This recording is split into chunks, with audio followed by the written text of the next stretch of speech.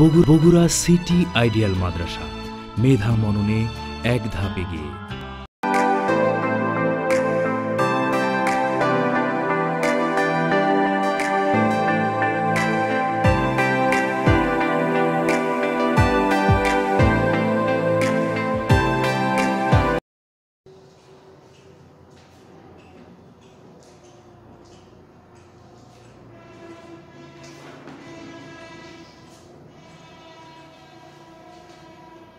আসসালামু আলাইকুম আরহামতুল্লাহ প্রিয় তারবিয়তের ছোট্ট শিক্ষার্থীবৃন্দু, আজকে আমি তোমাদের সাথে আলোচনা করতে চলে এসেছি অনলাইন ক্লাসে তোমাদের ইংলিশ সাবজেক্ট থেকে।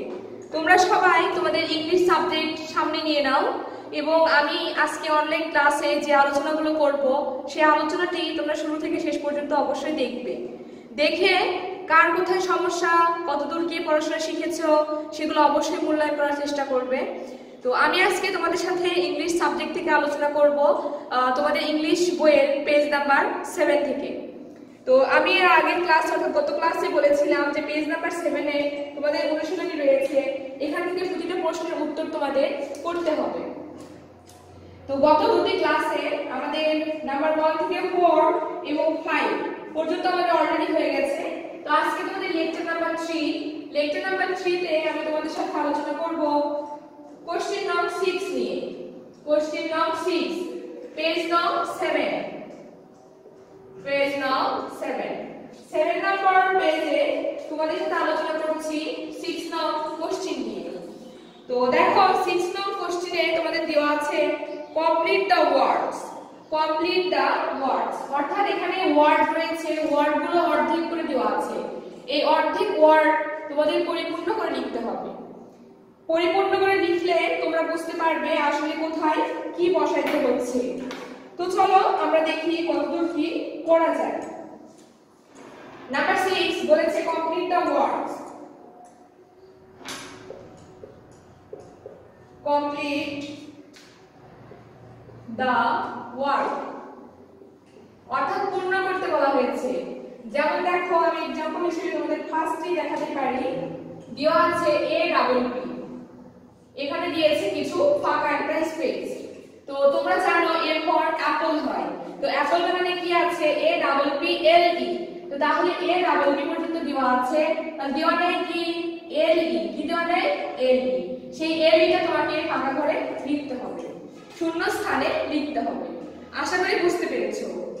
পড়াটি কিন্তু তোমাদের জন্য খুবই গুরুত্বপূর্ণ। কেননা তোমরা এটা যদি ভালো করে শিখে নাও, তোমাদের জন্যই ভালো হবে তো এটা হচ্ছে আমাদের প্রথম এক্সাম্পল তো পরবর্তী আমরা সবগুলো জানানোর চেষ্টা করব। তো দেখো, তারপরে দেওয়া আছে? আমি এক লাইন করে যাচ্ছি। এ ডাবল পি ফাঁকা ঘরে ছিল ফাঁকা তো তখন আমরা লিখে দেবো কি? L E. A double P, L E, apple, এর অর্থ আপেল। তাহলে আমাদের ওয়ার্ডটি কমপ্লিট হলো।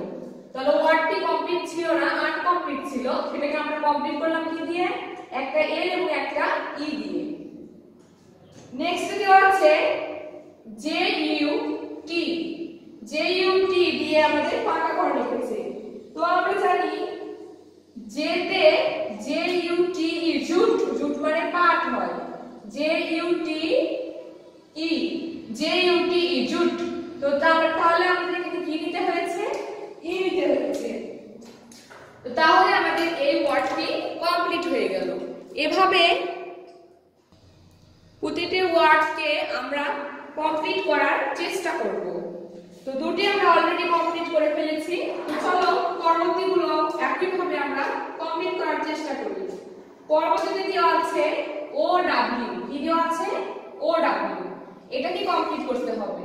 তো তোমরা শিখে এসেছ ও ফর আউল কি শিখেছো? ও ডাব্লিউ এল হইলে হয় আউল সো আমাদের এখানে কি দিতে হবে? এল দিতে হবে। তো আমাদের তিনটি ওয়ার্ড অলরেডি কমপ্লিট হয়ে গেছে। তো আবারও বলি, প্রথমে আমাদের দেওয়া ছিল এ ডাবল পি সঙ্গে যুক্ত করতে হবে আমাদের এল ই জে ইউ টি সঙ্গে যুক্ত করতে হবে ই ও ডাব্লিউ এল আমাদের ছিল না কি? এল তো এলটা আমরা যুক্ত করে দিব। পূর্ণাঙ্গ ওয়ার্ড কি পেয়েছি? অ্যাপল জুট আউল সো আমরা নেক্সটগুলো শিখব। নেক্সট দেখো, আমাদের ফাঁকা ঘর দিয়ে দেওয়া আছে ডাবল জি এটা কিন্তু তোমরা অলওয়েজ সবাই জানে বুঝতে পারে। এখানে একটা ই দিলে আমাদের হবে কি এ। তাহলে আমাদের কি নিতে হবে? ই নিতে হবে। ই ডাবল জি এ তো তারপরে দেওয়া আছে এল আই ও এখানে ফাঁকা ঘর। তো এখানে যদি তুমি এন দিয়ে দাও, তাহলে কি হচ্ছে? L I O A L I O N lion তারপরে দেওয়া আছে K I N K I N G নিলে হয় কি? কিং। কিং মানে রাজা। তাহলে এখানে কি হবে? এখানে হবে G K I N G king. King মানে রাজা। তো ছয়টি ওয়ার্ড আমি লিখেছি, আশা করি সবাই বুঝতে পেরেছ। ছয়টি ওয়ার্ডের শুরুতে ছিল এ ডাবল টি তারপরে আছে ফাঁকা ঘর। সেখানে আমরা লিখে দিব কি? এল ই তারপর আছে জি ইউ টি দেওয়া আছে ফাঁকা ঘর। ওখানে লিখব ই ও ডাব্লিউ দেওয়া আছে ফাঁকা ঘর। আমরা লিখব এল ডান পাশে রয়েছে ফাঁকা ঘর ডাবল জি দিতে হবে ই এল আই ও ড্যাশ ওখানে দিব আমরা কি? এন কে আই এন ওখানে আমরা দিব জি হয়ে গেল কি তো পূর্ণাঙ্গ অর্থাৎ কমপ্লিট ওয়ার্ড আমরা কি পেয়েছি? কিং পেয়েছি লায়ন পেয়েছি এগ পেয়েছি আউল পেয়েছি জুট পেয়েছি অ্যাপল পেয়েছি। এই ছয়টি আমরা কমপ্লিট ওয়ার্ড পেয়েছি। ফাঁকা ঘর পূরণ করে আমরা ছয়টি কমপ্লিট ওয়ার্ড পেয়েছি। তো ছোট শিক্ষার্থী বিন্দুরা নেক্সট আমরা এখন দেখব পরবর্তীতে কি রয়েছে। তো পরবর্তী দুই লাইন আমরা জানব এখন। পরবর্তী দুই লাইনে দেখো দেওয়া আছে যেগুলা তো তার মধ্যে প্রথমে আছে অর্থাৎ আমাদের তৃতীয় লাইনে রয়েছে জি আই আর এতটুকু দেওয়া আছে জি আই আর এখানে কি হবে বুঝতেই পারছ? জি আই আর এল তাহলে হয় গার্ড এখানে হবে না তাহলে এল তারপরে দেওয়া আছে ড্যাশ দেওয়া আছে ইউ ডাবল ই ইউ দেওয়া আছে ডাবল ই সঙ্গে আছে M U double E M এখানে হবে কিউ এখানে কি হবে? Q Q U double E N হয়ে গেল কুইন কুইন মানে রানী। কুইন মানে রানী। কে দিয়ে শিখেছি কিং? এবার জানলাম কুইন কুইন অর্থ রানী। তাহলে জি আই আর এখানে হলো এল ফাঁকা ঘর দেওয়া আছে ইউ ডাবল ই এন এখানে আমাদের দিতে হবে Q Q U double E N queen. Queen মানে রানী। নেক্সট আছে আর ও এস এখানে ফাঁকা ঘর তো রোজ রোজ স্পেলিংটা কি? আর ও এস ই আর ও এস ই তাহলে এখানে কি বসবে? ই বসবে। পরবর্তীতে আছে সি এ এখানে কি হবে? T C A T cat C A T যুক্ত করলে আমাদের হয়ে যাচ্ছে। ড্যাশ ই এ এখান থেকে চাইলে এইচ দিতে পারো, চাইলে পি দিতে পারো। পি দিয়ে দিলে হবে কি? P E N pen P E N pen আর নেক্সট আছে dash R A Y ray এখানে দিতে পারো এক্স কি দিতে পারো? এক্স এক্স রে কি হলো? এক্স রে তো আমি ছয়টি আনকমপ্লিট ওয়ার্ড বলেছি, অর্থাৎ অপূর্ণাঙ্গ ওয়ার্ড যেখানে আমাদের ফাঁকা ঘর দেওয়া আছে, ফাঁকা ঘরটি আমাদের পূর্ণ করতে হয়েছে কিছু লেটার যুক্ত করে। তো আমরা সেই কিছু লিটার যুক্ত করে নিয়ে লিখে দিয়েছি।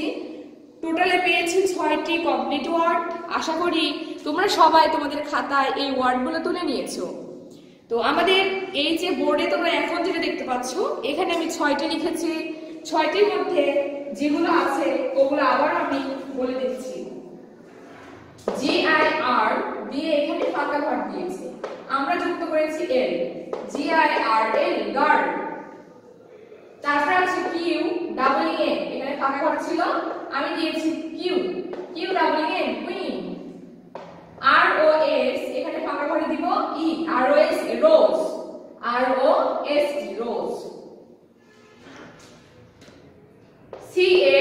ফাঁকা ঘরে আমরা দিব টি তাহলে হবে C T cat P N pen আমি এখানে দিব কি? পি এক্স রে এখানে কি দিতে হবে? এক্স দিতে হবে।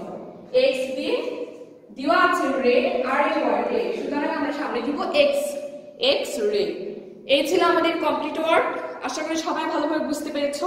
সবাই অনেক মজা লেগেছে। পড়াগুলো যদি তোমরা সহজভাবে করার চেষ্টা করো, তাহলে অবশ্যই অবশ্যই তোমাদের মজা লাগবে। তো এই ছিল আজকের ক্লাসের পড়া। তো যেহেতু বাসায় তোমাদের এই পড়াগুলো তৈরি করতে হবে, এজন্য আজকের অনলাইন ক্লাসে আমি আর বৃদ্ধি করতে চাই না। আজকে যেটা যতটুকু আলোচনা আমি করেছি, আশা করি বুঝতে পেরেছ। এবং বাসায় ভালো করে আরও তোমরা রিভিশন করবে, ভালো করে মূল্যায়ন করবে নিজেদেরকে। এই আশা রেখে আজকে ক্লাস থেকে আমি বিদায় নিচ্ছি। সবাই ভালো থাকো, সুস্থ থাকো। আল্লাহ হাফিজ।